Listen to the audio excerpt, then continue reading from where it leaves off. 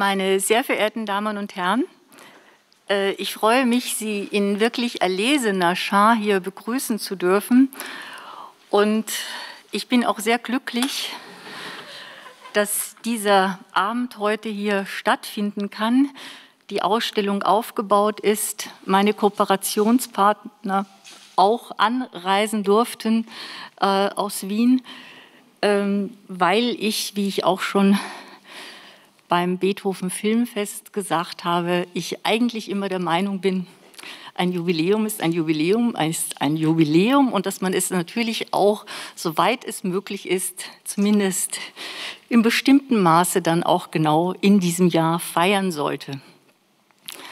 Äh, wenn ich Sie jetzt alle begrüße als wirklich ganz mir wichtige Schar, kleine Schar, äh, vorgegeben natürlich die, durch die uns allen bekannten Bedingungen und auch äh, erst meine zweite Ausstellungseröffnung an einem anderen Ort, die einzige Ausstellungseröffnung, die ich nicht im eigenen Museum gemacht habe, seit ich hier in Bonn bin. Da fand allerdings auch dann die Ausstellung, die ich kuratiert habe, in der Bundeskunsthalle statt, liegt jetzt auch schon 20 Jahre zurück. Also sozusagen war mein einziger Auftritt. Und wie lange der schon zurückliegt, können Sie vielleicht daran ermessen, dass damals der Altbundeskanzler Kohl noch nicht lange Altbundeskanzler gewesen ist. Also von daher ist das heute dann tatsächlich eine den besonderen Umständen geschuldete ja, fast Premiere, eine Ausstellungseröffnung. Aber ich bin glücklich, dass es eben auch am Rhein liegt, also nicht sehr weit vom Arndthaus entfernt. Und ich denke, von daher ist eine gewisse, zumindest innere Verbindung zwischen Ausstellungsort und Ausstellungseröffnung gegeben. Die große Beschränkung brachte mir allerdings auch den Vorteil, dass ich sehr, sehr gezielt einladen konnte, wenn Sie so wollen, wie zu einer eigenen Feier, weil es ist ganz klar für mich immer beherrschend gewesen als Vorsatz, dass man natürlich Leihgeber einlädt, die Autoren für die Kataloge, dass man die Leute einlädt, die einem geholfen haben, unterstützt haben und natürlich auch die, die immer schon dem Museum und seinen Aktivitäten und Veranstaltungen ja, mit großer Begeisterung über viele Jahre treu geblieben sind. Und das konnte man natürlich dann trotz beschränkter Anzahl sehr gut realisieren. Und ich bin wirklich sehr glücklich, dass die meisten von Ihnen direkt auch zugesagt haben.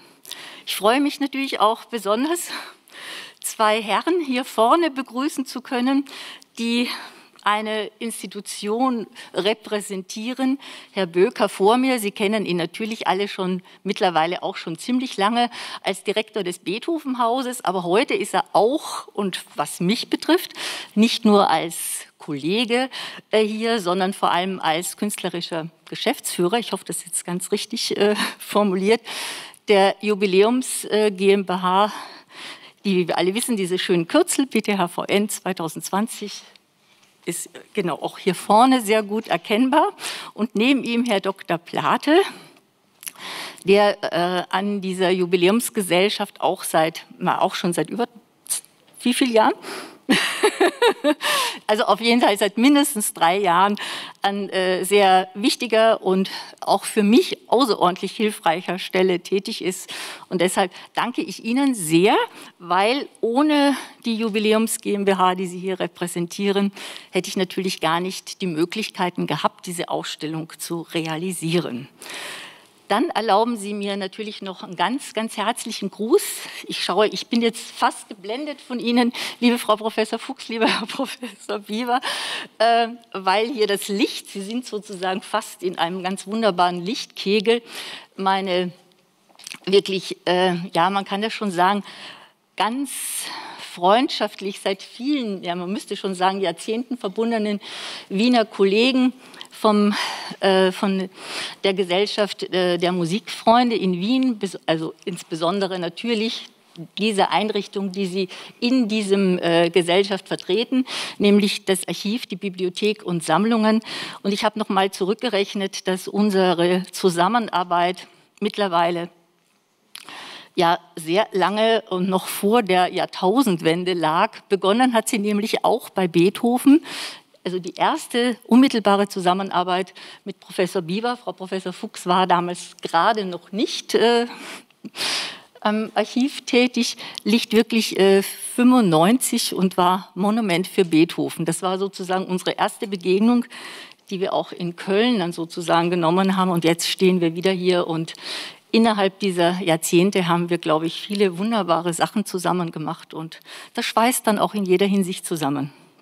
Ansonsten, Sie wissen es, war ich darauf bedacht, vor allem Autoren und Leihgeber einzuladen.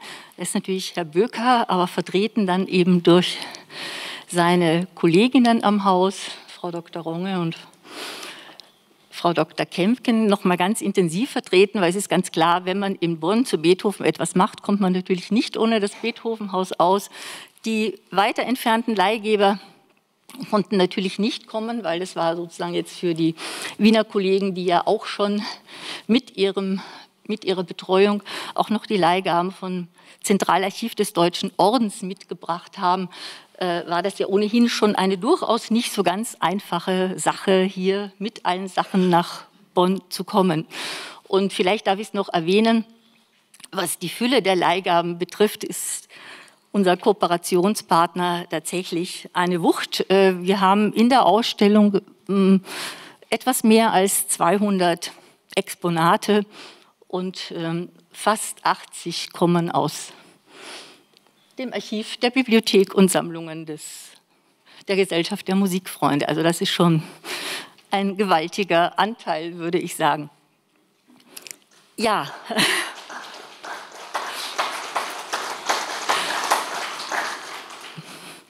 Aber schön ist es doch, dass, wenn auch nicht viele Leihgebervertreter hier sein können, dass einige Autoren, von denen ich wusste, dass sie, auch wenn sie nicht in Bonn, sondern ein bisschen in der Umgebung wohnen, vielleicht es dann doch schaffen zu kommen. Und da ist dann doch eine ganze Reihe hier. Und bei Autoren ahnen Sie es schon, da geht es um den Katalog. Und da muss ich auch gleich das Eingeständnis machen, er ist nicht fertig, er ist noch nicht aus der Druckerei.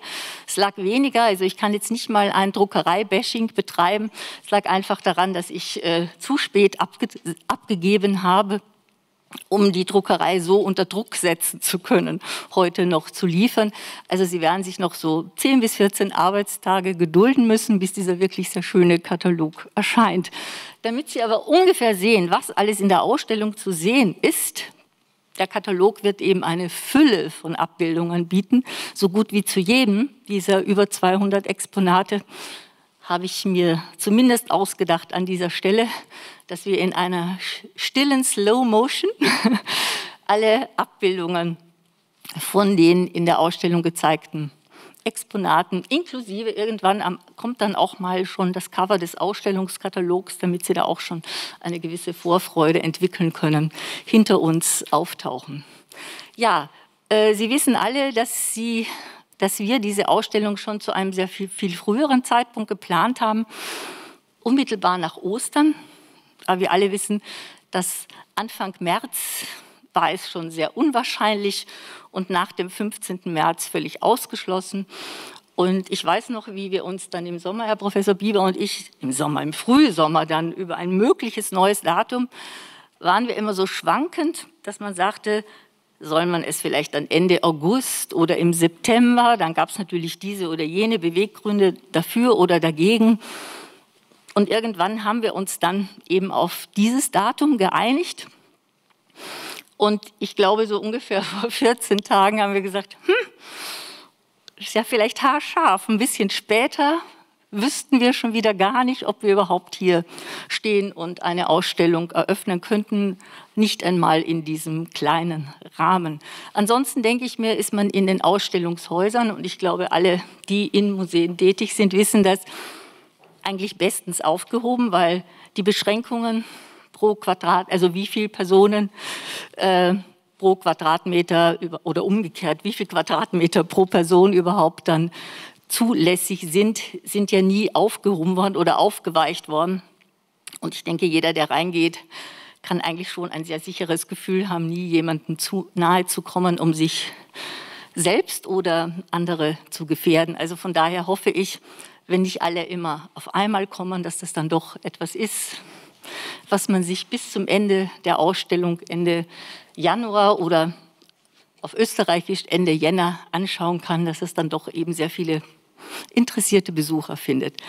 Äh, Sie wissen, der Ausstellungsbogen spannt sich eben von Beethovens Zeit in Bonn, geht natürlich noch ein bisschen davor, aber eindeutig eben auch bis nach 1800, wo er ja schon längst nicht mehr in Bonn war, aber im Zusammenhang seiner ursprünglich ja mit einem kurfürstlichen Stipendium verbundenen Reise, zweiten Reise nach Wien und der Tatsache, dass er nie aus diesem Dienst entlassen worden ist, zumindest nicht offiziell, haben wir immer gesagt, bis 1801, bis zum Tod des Kurfürsten, wo ja auch das Heilige Römische Reich zwar nicht mehr faktisch, aber noch normativ bestanden hat, war Beethoven tatsächlich immer noch ein Untertan Kurkölns und natürlich auch ein Angestellter der Hofkapelle. Von daher war dieser Schnitt, Zeitschnitt, wie ich finde, durchaus gerechtfertigt.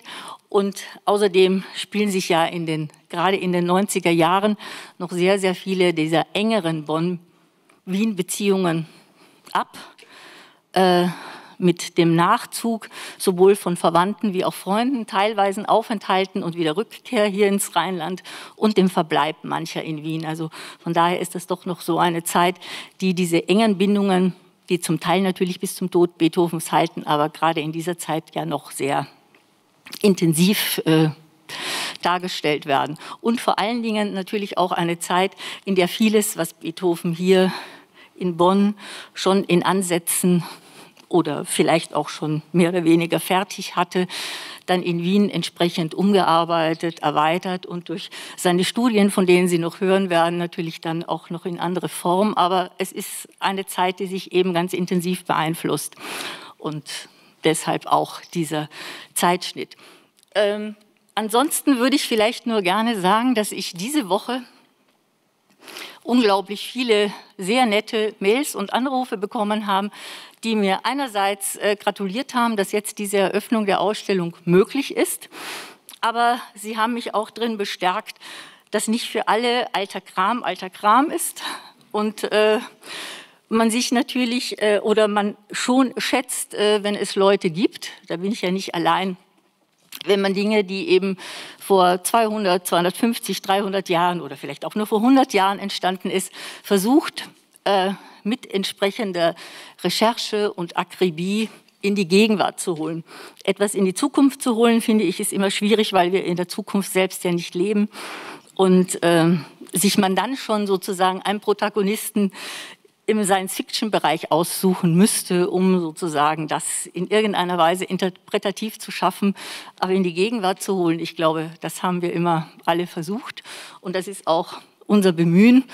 Und jemand schrieb mir auch, Ansonsten wäre es ja auch ein merkwürdiges Unterfangen, dass man sich heute mit der Interpretation von vor 250 Jahren geschriebenen Noten beschäftigt, weil das ungefähr dann das Gleiche wäre, wenn man dann sagt, das Umfeld ist eigentlich eigentlich uninteressant und das andere ist völlig neutral so für sich zu sehen. Ja, ich hoffe, Sie kommen ab morgen in die Ausstellung und schauen sich an, was wir zusammengetragen haben. Ich würde mich auch freuen, wenn dann viele, die Autoren kriegen das natürlich dann sofort auch, sobald die Exemplare da sind, den Katalog zugeschickt. Natürlich auch alle relevanten Stellen, die uns geholfen haben. Aber im Besonderen möchte ich jetzt gleich meine zwei Kooperationspartner bitten, Ihnen mit speziellen Vorträgen auch noch ein paar äh, sehr intensive Aspekte der Ausstellung oder auch der Beiträge im Katalog äh, vorzustellen, weil es gibt ja immer diese eine, also eine Figur Beethoven und sein Bonner Umfeld, was in der Ausstellung eben entsprechend beleuchtet wird damit man eben sieht, in welcher Atmosphäre Beethoven aufgewachsen ist. Wobei ich vielleicht noch hinzufügen möchte, deshalb hatte ich auch einen, einen Autor, der heute hier ist, gebeten, da mal einen Vergleich anzustellen. Bonn war schon etwas Besonderes als Residenzstadt mit diesem ganzen kulturellen und aufgeklärten Umfeld.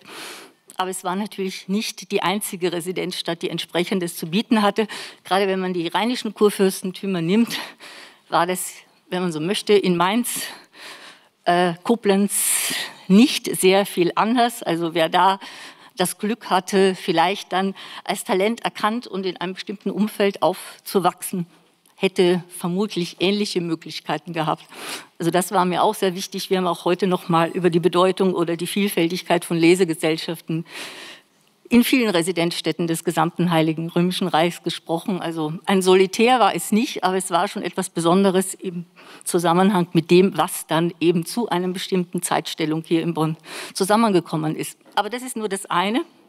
Das andere ist ja die Figur, die dann aus Wien kommt, Maximilian Franz.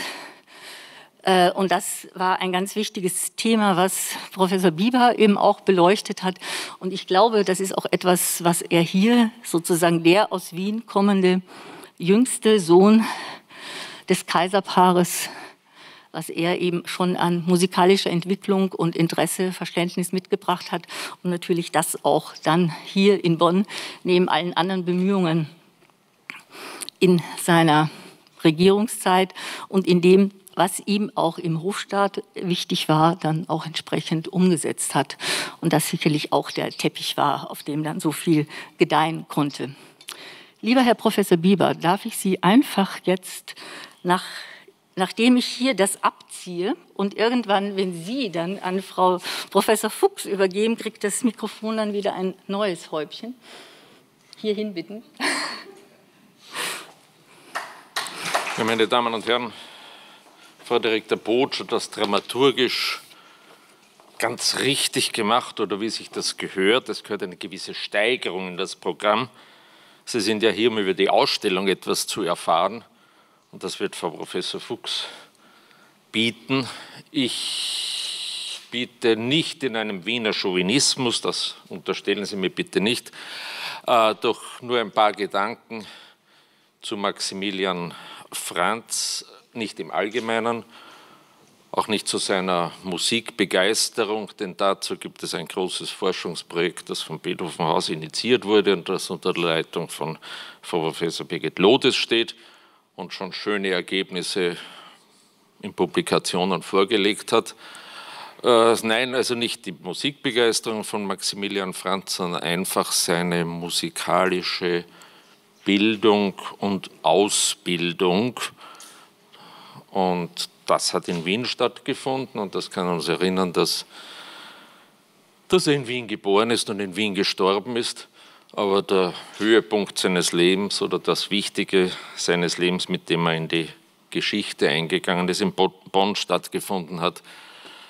Äh, meine Damen und Herren, die Zitate, dass der Bonner Kurfürst Maximilian Franz Opern am Klavier durchspielt und dazu die Opernpartien singt und ein paar Streicher hat, die noch mitspielen, oder dass Maximilian Franz der aufmerksamste Zuhörer bei den Darbietungen seiner Hofkapelle ist. Diese Zitate werden oft gebracht. Diese Zitate unterstreichen diesen Musikliebhaber Maximilian Franz und diese Zitate sind sozusagen der allerbeste Aufhänger für das große Forschungsprojekt, das ich eben erwähnt habe. Aber er war nicht nur Musikliebhaber, er war auch entsprechend ausgebildet und da lassen Sie mich in Erinnerung rufen, dass er schon im Alter von drei Jahren Deklamationsunterricht in deutscher wie italienischer Sprache hatte und auch schon mit Deklamationen aufgetreten ist, dass er Tanzunterricht hatte, aber nicht Gesellschaftstanz, sondern Bühnentanz, pantomimischen Tanz und dass er verschiedene Instrumente gelernt hat. Klavier, Violine, dazu gehört damals auch die Viola, Violoncello, Gesang, nicht Instrumente, aber auch zum Musizieren notwendig Gesangsausbildung und dann auch noch eine Flöt äh, Ausbildung als Flötist gehabt hat. Äh, dazu gibt es einiges in der Ausstellung zu sehen. Ich erwähne nur eine Kirchenmusikkomposition, die seine Mutter Maria Kaiserin Maria Theresia für alle ihre Kinder und sich selbst bei keinem geringeren als Johann Adolf Hasse in Auftrag gegeben hat. Und alle Kinder, inklusive Mutter, haben ein Solo singen müssen. Der älteste Josef II. hat die Orgel gespielt. Nur der jüngste, der Maximilian Franz, bei dem hat's, der war damals sechs Jahre alt, bei dem hat es noch nicht für ein Solo gereicht. Der hat nur im Tutti mitgesungen. Aber musikalische Ausbildung. Seit 1771, da war er 15 Jahre alt, hören wir, dass er der familiären Kammermusik bei Hofe die Violine oder die Viola spielt. Im Jahr darauf spielt er auch schon Cello. Er wirkt in den Nachmittagskonzerten seines Bruders, damals schon Kaiser Josef II. mit und seit 1776 gehören zu seinem Hofstaat auch zwei Geiger, damit er Partner für das eigene Kammermusikspiel hatte. Also das geht weit über das hinaus, was wir von musikliebenden Regenten wissen. Das ist schon etwas ganz Spezielles für ihn.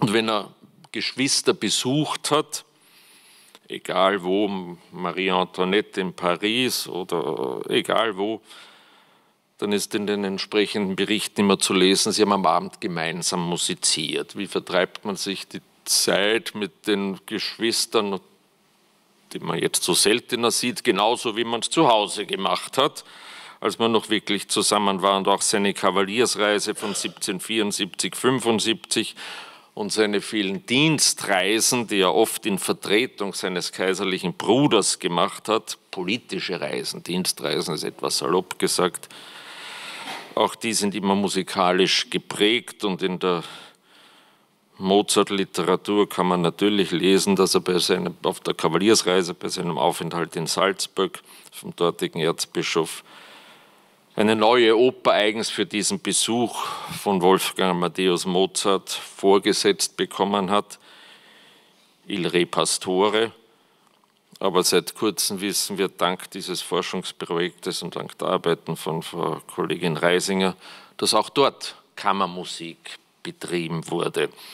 Und etwas Besonderes, äh, das betrifft schon die Endzeit seines Aufenthaltes in Wien, seines Lebens in Wien, bevor er nach Bonn übersiedelt ist. Er hat 1783 öffentliche, öffentliche Gartenkonzerte im Garten von Schloss Schönbrunn eingerichtet. Und das ist adeliges Mäzenatentum auf der einen Seite. Das ist aufgeklärte Denkungsweise. Die Kunst, die mir Freude macht, mache ich meinen Untertanen zugänglich. Und das ist ein ganz ein wichtiges Datum für die Entwicklung des öffentlichen Konzertlebens in Wien.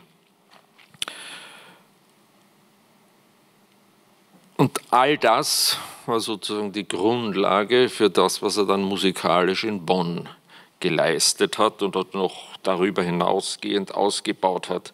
Und jetzt lassen Sie mich einen Gedanken verschwenden den Unterricht Beethovens bei Josef Haydn, der immer so dargestellt wird. Josef Haydn ist auf seiner Reise nach London durch Bonn gekommen, weil hier Johann Peter Salomon, sein Manager, in London geboren wurde und er hat ihm also durch diese Geburtsstadt geführt.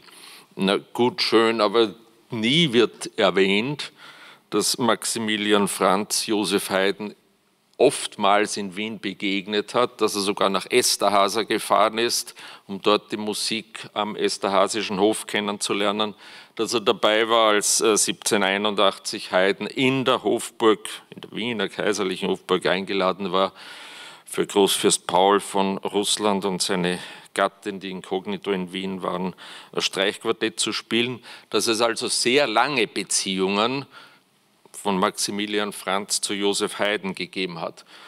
Äh, der andere weitere Lehrer Beethovens in Wien, Johann Georg Albrechtsberger, der wird oft so als Notnagel dargestellt. Haydn hat schlecht unterrichtet, Haydn hat keine Zeit gehabt, Haydn hat nach London fahren müssen, der arme Beethoven ist in Wien auf der Straße sozusagen auf der Unterrichtsstraße gestanden und dann ist er halt zu Albrechtsberger gegangen. Der war 1772 Hof, seit 1772 Hoforganist und der Hoforganist spielt ja nicht nur die Orgel in der Kirche, sondern der spielt bei allen höfischen Musikproduktionen das Continuo am Cembalo oder vielleicht schon am modernen Hammerflügel. Das heißt, Maximilian Franz kennt den Albrechtsberger seit ewigen Zeiten. Äh, Antonio Saliere war kaiserlicher Kammerkomponist in Wien. Maximilian Franz hat mit ihm zu tun gehabt. Äh, das heißt, Maximilian Franz hat Beethoven auch für andere seiner Wiener Lehrer äh, Empfehlungen mitgeben können oder ihm ihnen erzählen können oder ihm Rat geben können. Die kenne ich auch. Wenn du hinkommst, lass sie schön grüßen. Das gilt auch für Johann Baptist Schenk, der Schüler des Hofklaviermeisters äh, Georg Christoph Wagenseil war. Äh, man hat natürlich hier in Bonn gewusst, dass der zukünftige Kurfürst oder der gewählte Koadjutor große Musikinteressen hat und hat sich hier auch bemüht, äh, oder es scheint mir so, dass man sich hier bemüht hat, diese Musikinteressen in Wien, äh, die, die Pflege der Musikinteressen, die Möglichkeiten, diese Musikinteressen hier in Wien zu, äh, in Bonn zu pflegen, dass man das in Wien bekannt gemacht hat. Plötzlich, seit 1780, gibt es im Wienerischen Diarium eine Unmenge von Musikberichterstattung aus Münster, aus Bonn, was hier stattfindet, mehr als von jeden anderen Städten. Man will also auf diesen Umweg, auf diese Korrespondentenberichte Maximilian Franz aufmerksam machen.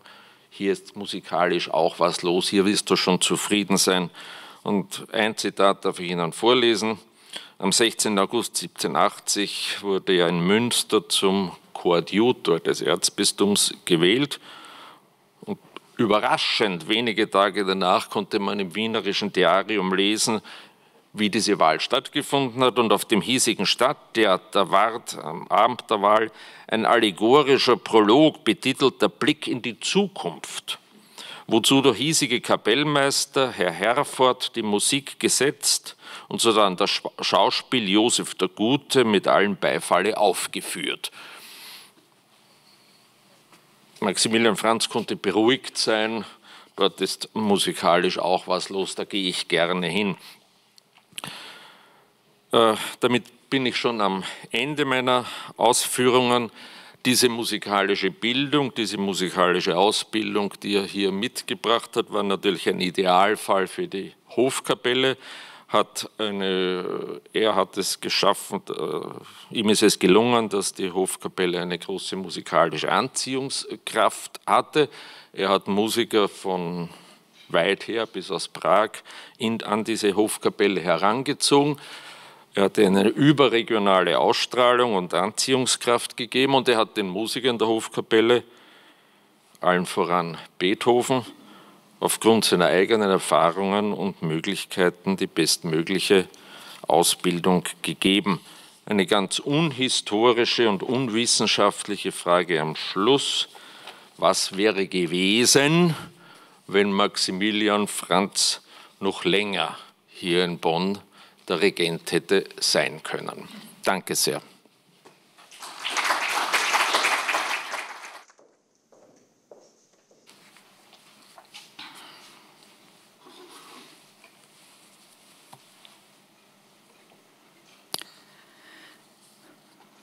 Guten Abend, meine sehr geehrten Damen und Herren. Ich möchte Ihnen nun die Highlights aus den über 80 Leihgaben aus Archiv, Bibliothek und Sammlungen der Gesellschaft der Musikfreunde in Wien vorstellen, die wir zu dieser Ausstellung nach Bonn gebracht haben.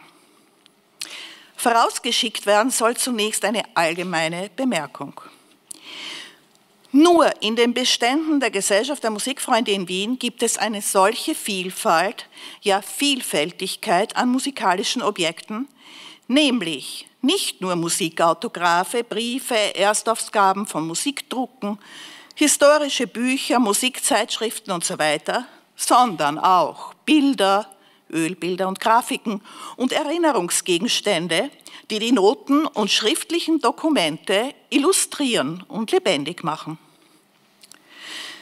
So werden zum Beispiel zu den in Bonn entstandenen Skizzen einer Beethoven-Komposition nicht nur deren später entstandenen Skizzen einer Beethoven, ähm, äh, nicht nur die später entstandenen, äh, später gedruckte Erstausgabe gezeigt, sondern auch Bilder des Widmungsträgers oder von anderen mit dem Werk in Zusammenhang stehenden Personen oder Orten. Bei der Konzeption der Ausstellung habe ich insgesamt versucht, die verschiedenen thematischen Bereiche jeweils von mehreren Seiten zu beleuchten, um einen möglichst umfassenden Gesamteindruck zu ermöglichen. Doch nun zu den Highlights, zu denen natürlich in erster Linie die acht Beethoven-Autographe zählen, die wir aus Wien nach Bonn gebracht haben und die hier in der Ausstellung im Original gezeigt werden.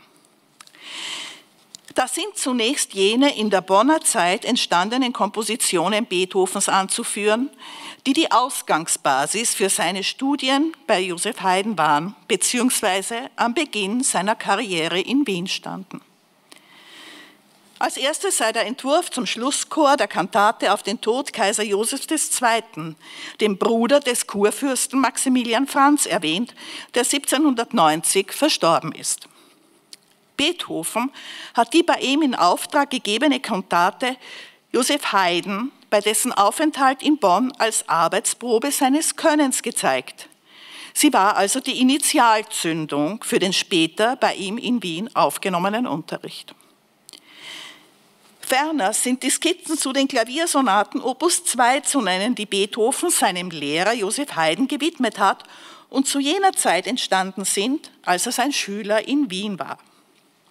Besonders bemerkenswert sind die am oberen Rand von Ludwig van Beethoven geschriebenen Worte, die wohl einen Ausspruch seines Lehrers Haydn wiedergeben und neben der zum Ausdruck gebrachten positiven Zukunftsperspektive Beethoven vielleicht zur weiteren Ausarbeitung der hier skizzierten Werke animiert haben. Zitat, noch ein halbes Jahr in dem Kontrapunkt und er kann arbeiten, was er will. Von besonderem Interesse sind weiters die Studienblätter Beethovens aus dem Unterricht bei Joseph Haydn, Johann Georg Albrechtsberger und Antonio Salieri. In den Kontrapunktstudien bei Haydn finden sich fast keine Korrekturen desselben, denn der Unterricht erfolgte hauptsächlich mündlich. Dieser war nicht primär dem Kontrapunkt, sondern den Grundlagen der freien Komposition gewidmet und bestand in der prüfenden Durchsicht vorgelegter Kompositionen. So übersandte Haydn Kurfürst Maximilian Franz im November 1793 fünf Kompositionen Beethovens, Zitat, als empfehlenden Beweis seines außer dem eigentlich Studieren angewandten Fleißes.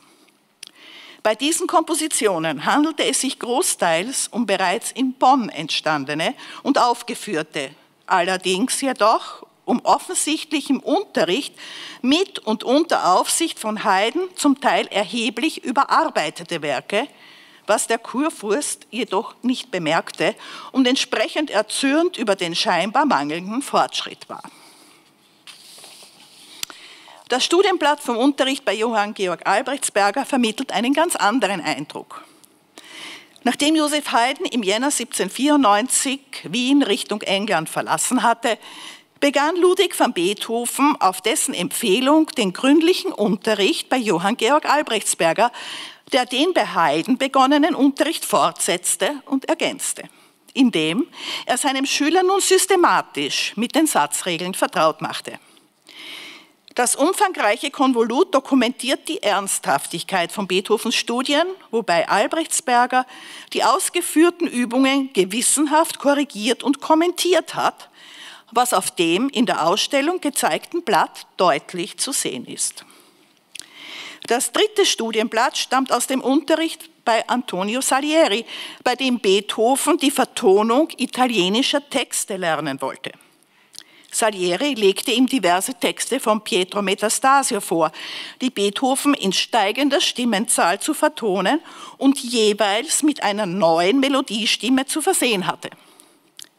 Salieri korrigierte, wie man auf dem ausgestellten Blatt sehen kann, immer nur die tragende Oberstimme, Die restlichen Korrekturen überließ er seinem Schüler. Doch noch drei weitere Beethoven-Autographe aus, aus der Gesellschaft der Musikfreunde in Wien werden hier in der Ausstellung gezeigt. Als erstes das Fragment eines in den letzten Bonner Jahren komponierten Violinkonzerts, bei dem die unter Anführungszeichen verbogenen Lotenlinien auf der linken Seite der ersten Autographseite ins Auge springen, die durch die ungenaue händische Rastrierung bei der Herstellung des Notenpapiers entstanden sind. Ferner habe ich Skizzen zu zwei in Bonn entstandenen Variationenwerken Beethovens ausgewählt.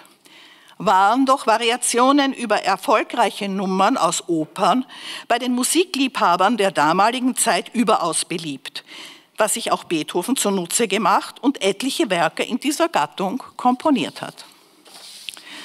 Von besonderem Interesse sind die Variationen über Se vuol ballare aus Mozarts Le Nozze di Figaro, wobei das Thema der Cavatine auf dem Skizzenautograph leicht zu erkennen ist.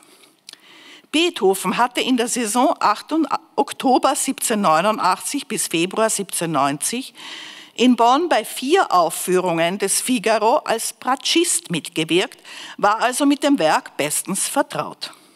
Die Erstausgabe der Variationen wurde schließlich im Wiener Verlag Arteria im Juli 1793 mit der prominenten Opus Nummer 1 publiziert und wird in der Ausstellung ebenfalls gezeigt. Die Komposition ist Beethovens Bonner Jugendfreundin Eleonore von Breuning gewidmet, die er im Klavierspiel unterrichtet hatte und in deren Familie der junge Beethoven freundschaftlich liebevoll aufgenommen worden war. Ein Jahr nachdem er Bonn verlassen hatte, um in Wien bei Haydn zu studieren, informierte er Eleonore von Breuning in einem ausführlichen Brief über die Widmung des Werkes an sie und schlägt ihr Erleichterungen bei den spieltechnischen Schwierigkeiten vor. Der originale Brief aus dem Beethovenhaus Bonn ist ebenfalls in der Ausstellung zu sehen. Das zweite Variationenwerk, das hier mit Autographen Skizzen aus dem Archiv der Gesellschaft der Musikfreunde präsentiert wird, übrigens die einzige dazu erhaltene autographe Quelle, komponierte Beethoven über eine populäre Nummer aus der komischen Oper Das rote Käppchen von Karl Dieters von Dietersdorf, die ab Februar 1792 überaus erfolgreich am Programm der 1789 eröffneten Bonner Nationalbühne stand. Auch in dieser Produktion hat Beethoven als Bratschist im Orchester mitgewirkt und sich so zu den Variationen imponieren lassen inspirieren lassen. Neben diesen acht Autographen-Highlights könnte man noch jede Menge andere interessante, ja einzigartige Objekte aufzählen, die in dieser Ausstellung gezeigt werden, deren Besuch ich Ihnen ans Herz legen möchte, damit Sie diese Schätze in Natura sehen und studieren können. Und zwar handelt es sich bei diesen nicht nur um Werke von Beethoven, wie zum Beispiel die überaus seltene 1783 erschienene Erstausgabe der sogenannten Kurfürstensonaten, die der laut Titelblatt elfjährige, tatsächlich 13-jährige Beethoven dem Kurfürsten Maximilian Friedrich gewidmet hat. Aber auch um Manuskripte von Kompositionen von Ferdinand Graf Waldstein, einem der bedeutendsten Förderer und Unterstützer Beethovens, sowohl in seiner Bonner Jugend als auch bei seiner Etablierung in Wien. Hervorzuheben ist auch Beethovens Lehrer Christian Gottlob Nefe, von dem neben dem Autograph seines Melodrams mit dem Titel Sophonispe noch etliche weitere mit ihm und Beethoven in Zusammenhang stehende Objekte gezeigt werden aber auch Beethovens Musikerkollegen aus der Bonner Hofkapelle, die später als erfolgreiche Komponisten hervorgetreten sind, wie Andreas Romberg, Bernhard Romberg, Ferdinand Ries oder Anton Reicher, werden mit Erstausgaben und Bildern präsentiert. Abgerundet wird die Musikabteilung der Ausstellung durch überaus zahlreiche bildliche Darstellungen die von ikonografischen Belegen des jungen Beethoven bis zu Stadtplänen und Ansichten Wiens reichen. Denn nicht nur Beethovens Bonner Zeit, sondern auch seine ersten erfolgreichen Jahre in Wien werden ausführlich dargestellt. Ein Schwerpunkt widmet sich zum Beispiel seinen öffentlichen und privaten Wirkungsstätten, wobei drei originale Anschlagzettel zur Musikalischen Akademie, das sind Konzerte, vor 1800, in denen Beethoven aufgetreten ist, zu sehen sind. Ein anderer Schwerpunkt zeigt die freundschaftlich mit ihm verbundenen adeligen Förderer, wie vor allem Moritz Graf Lichnowsky, sodass Beethovens Stellung in der damaligen musikalischen und gesellschaftlichen Szene dokumentiert und illustriert wird. Das letzte Highlight, auf das ich Sie hinweisen möchte, ist ein Pfeifenkopf aus Porzellan aus dem Jahr 1802 mit dem damals aktuellen Jugendbildnis Ludwig van Beethovens. Dieses basiert auf dem kurz zuvor in Wien erschienenen Punktierstich von Johann Neidl, dem ersten auf den Markt gekommenen Porträt des jungen Musikers. Ein einzigartiges Dokument für die frühe Popularität und Verehrung Ludwig van Beethovens. Abschließend möchte ich Sie nochmals sehr herzlich einladen, diese umfangreiche und eindrucksvolle Ausstellung zu besuchen. Und ich danke Ihnen sehr für Ihr Interesse. Vielen Dank.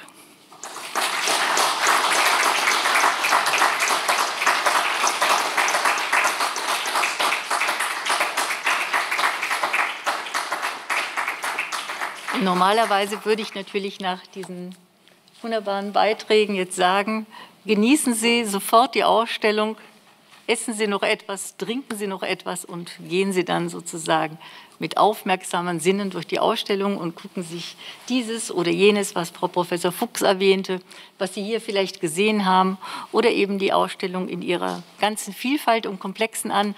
Aber Sie wissen es, äh, die Ausstellung ist nicht hier, deshalb muss ich Sie alle dann ab Eröffnung sozusagen des Hauses ab morgen 13 Uhr bitten, es möglichst häufig aufzusuchen. Dank der großzügigen Unterstützung werden wir auch nur ganz wenige Schließtage haben, wenn sie uns nicht von anderer Seite aufoktroyiert werden. Aber so wie es vorgesehen ist, wird tatsächlich nur 24., 25. und 31.12. geschlossen und sonst hat sie zu unseren Öffnungszeiten immerfort offen.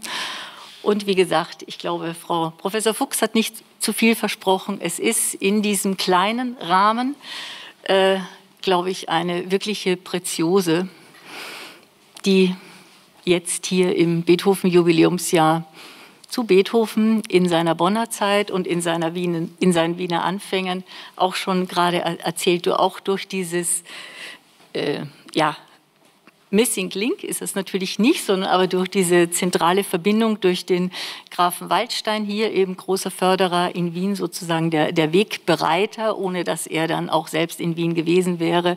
Aber allein die Tatsache seiner seines Dahinterstehens öffnete Beethoven natürlich in Wien die Türen. Also all diese Dinge können Sie in der Ausstellung sehen, auch nachhaltig erfahren. Und ja, ich hoffe, Sie kommen zahlreich. Und ich freue mich auch, dass Sie alle heute aufgrund meiner, mir, dass Sie alle da sind, wirklich sehr wichtigen Einladung, heute hier hinzukommen, auch gekommen sind. Ganz vielen Dank.